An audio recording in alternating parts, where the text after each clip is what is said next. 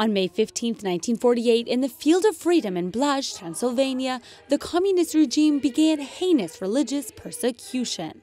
On that day, the authorities asked Greek Catholics to abandon their faith and join the Orthodox Church to separate them from Rome. The majority refused. Thus began one of the darkest eras in the history of the Roman Catholic Church in Romania. The government confiscated their property, imprisoned their bishops, and arrested many priests. More than 70 years later, in the same place, Pope Francis celebrated the beatification of seven bishops martyred in those days between 1950 and 1970. They were imprisoned and subjected to torture and humiliation. This official formula pronounced by the Pope made these seven bishops blessed in the eyes of the Church by their martyrdom. Beatorum nomine impostum appellerum atque dia secunda mensi iuni in locis et modis iuris statutis quotanis celebrari possent in nomine Patris et Filii et Spiritus Sancti.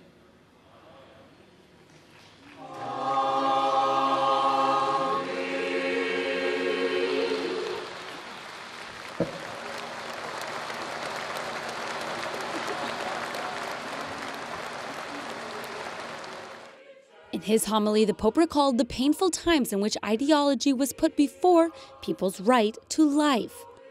I nuovi beati hanno sofferto e sacrificato la loro vita opponendosi a un sistema ideologico illiberale e coercitivo di diritti fondamentali della persona umana. In quel triste periodo la vita della comunità cattolica era messa a dura prova dal regime dittatoriale ateo. The Pope wanted to highlight above all the example of these martyrs. They did not die hating their persecutors, but rather showing great mercy toward them. Eloquente quanto ha dichiarato durante la prigionia il vescovo Iuliu Hosu. Dio ci ha mandato in queste tenebre della sofferenza per donare il perdono e pregare per la conversione di tutti. Queste parole sono il simbolo e la sintesi dell'atteggiamento con il quale questi beati nel periodo della prova hanno sostenuto il loro popolo nel continuare a confessare la fede senza cedimenti e senza ritorsioni. Pope Francis also warned of the danger of new ideologies of our days that seek to colonize culture and society. Colonizzazioni ideologiche che disprezzano il valore della persona, della vita, del matrimonio e della famiglia e nuociono con proposte alienanti ugualmente atee come nel passato, in modo particolare ai nostri giovani e bambini, lasciandoli privi di radici da cui crescere.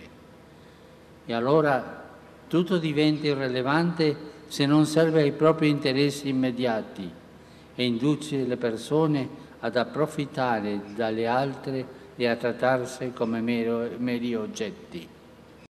Therefore, the Pope encouraged the fight against these new ideologies so they don't invade society. He invited fraternity and dialogue before any kind of division. Before leaving, Pope Francis led the recitation of the Regina Caeli and imparted a blessing on the more than 70,000 pilgrims who participated in this beatification ceremony.